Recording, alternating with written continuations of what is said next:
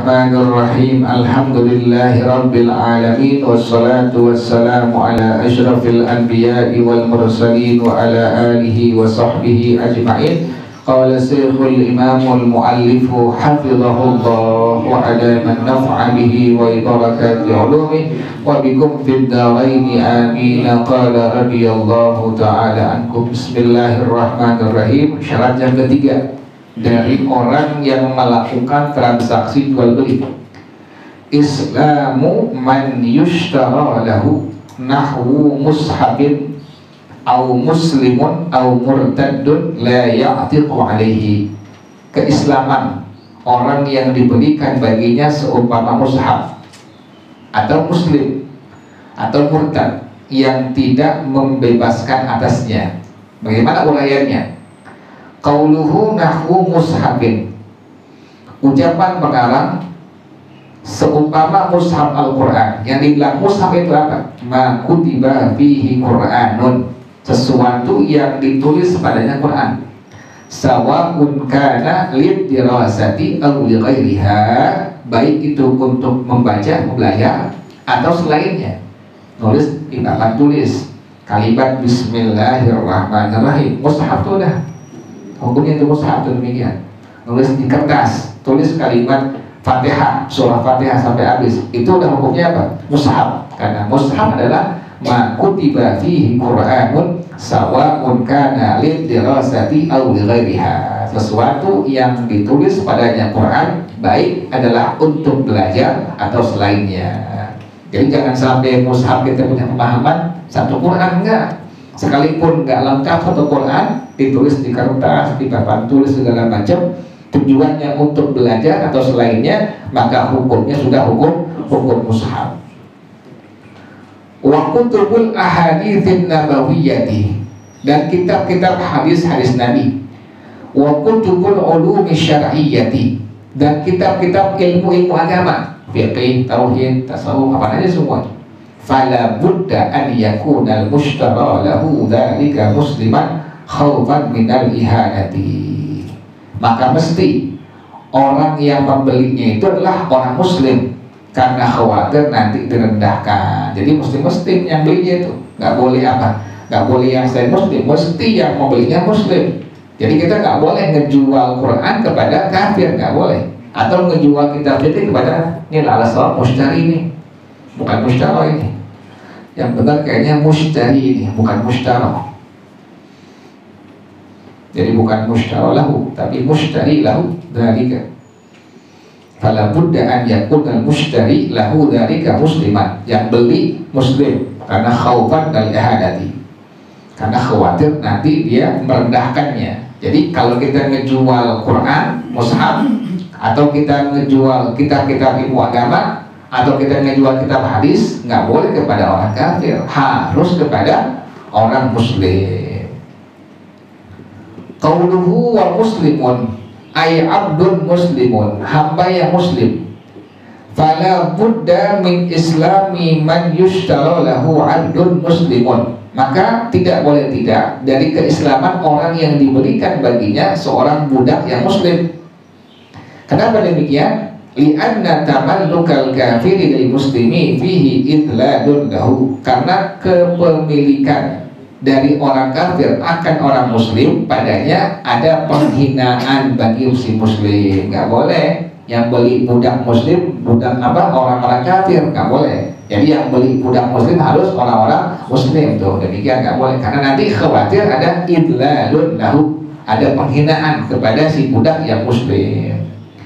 Inilah kecuali si kafir beli budak yang muslim idza kana ya'tiqu alaihi kalau dia akan membebaskannya boleh silahkan jadi ada orang kafir beli budak muslim tapi bakal dibebasin dimerdekain boleh silahkan dijual kepadanya. Tapi kalau nggak dibebasin nggak dimerdekain nggak boleh. Tidak diperbolehkan haram dijual budak muslim kepada orang kafir. Aslan au far'an. Baik asalnya bapak kakek terus ke atas au far'an atau cabangnya. Anak cucu terus ke bawah nggak boleh. Jadi harus yang ngebelinya adalah orang muslim tidak diperbolehkan budak muslim dibeli oleh orang kafir Tapi kalau si kafir pengen membebaskannya, memerdekakannya, silahkan diperbolehkan. Qauluhu au murtadun. Ucapan pengarang atau murtadun. Ay abdun irtadda an islami. Seorang budak yang murtad. Sama. Fala yasihu bai'uhu li kafirin. Enggak boleh, tidak sah, tidak boleh. Nggak boleh dijual budak yang murtad kepada orang kafir. Kok nggak boleh? Ada yang murtad. Libaqai ulqatil islami bihi. Karena ada masih keterkaitan Islam dengannya. Masih ada tuh keterkaitan si budak yang murtad tadi akan keislaman. Makanya pada buddha an yakun al mushtari lahu musliman. Maka mesti yang membeli adalah seorang seorang muslim. Jadi nggak boleh. Budaknya murtad yang beli kafir nggak boleh. Tetap yang beli harus muslim. Kenapa demikian? Li'anna al-murtadda mutalabun birruju ila islami karena seorang yang murtad dituntut untuk kembali kepada Islam. Tuh makanya nggak boleh. Jadi mushaf nggak boleh yang membelinya orang kafir Kemudian juga budak yang muslim nggak boleh yang membelinya orang kafir kecuali si kafir akan membebaskannya. Kemudian budak yang murtad nggak boleh dibeli oleh orang kafir. Kenapa demikian? Karena masih ada keterkaitan Islam dengan itu budak. Yang keempat, ada mukhirabati man yashtari lahu iddatu harbin ketiadaan peperangan orang yang membeli baginya akan beberapa persiapan perang. Aihalatul harbi yaitu alat peperangan. Contohnya kabai iratin harbiyatin seperti menjual burung untuk berperang. Karena mereka ada sekarang bukan burung karena kapal pesawat perang sekarang itu ausilahin atau menjual senjata likufarin harbiyina kepada orang-orang kafir harbi nggak boleh. Si muslim jual senjata kepada kafir harbi nggak boleh. Hukumnya haram. Wa amma bayuha li kufarir dhimmiyina adapun menjual senjata kepada orang-orang kafir dhimmi fayasehu maka hukumnya sah. Nah, jadi kalau kita menjual alat perang kepada kafir nggak boleh. Kafirnya kafir harbi nggak boleh udah kafir dimi boleh silahkan jadi kalau kafir harbi nggak boleh. Sementara kafir dimi diperbolehkan. Karena kafir harbi kafir yang memerangi muslimin muslimah kafir dimi kafir yang memang dia dalam kekuasaan muslimin. Kemudian hukum baikil ahma hukum penjualan dari orang yang buta. Ini bagaimana hukumnya? Kalau si buta menjual barang. La yajuzu bai'uhu wasyira'uhu lil muayyani binafsihi tidak boleh bagi orang buta menjual dan membeli. Bagi barang yang ditentukan dengan dirinya. Fayuwakkilu fi dalika maka si buta mesti dia mentaukilkan mewakilin. Waktu dia ngebeli barang wakilin. Juga waktu dia ngejual barang wakilin. Nggak boleh dia langsung dia yang melakukan transaksi akan jual belinya wa fil qabdi wal iqbali. Pada masalah qabat qabat contohnya hibah. Qabat memberikan barang yang dihibahkan. Eh, qabat menerima barang yang dihibahkan. Iqbal memberikan barang yang dihibahkan. Sama pada masalah hibah. Jadi nggak boleh si buta menghibahkan barang. Atau si buta menerima hibah barang. Tidak diperbolehkan tuh.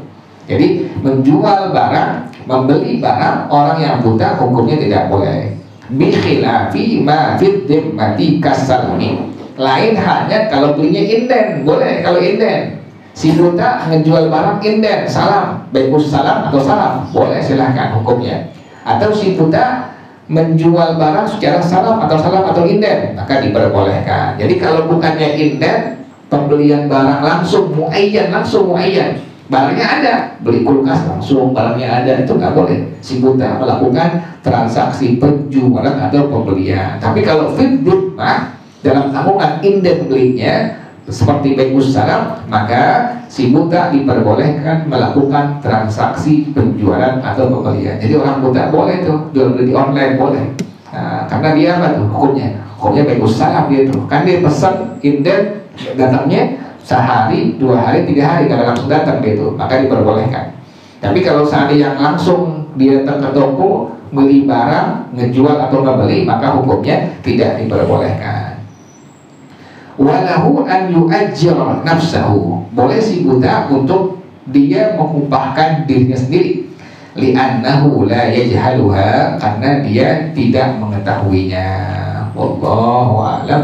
بالصواب اللهم إني استودعتك ما قرأت وما سمعت فردده إلي عند حاجتي إليه. وصلى الله على سيدنا محمد وعلى آله وصحبه وسلم. والحمد لله رب العالمين. سبحانك اللهم وبحمدك أشهد أن لا إله إلا أنت.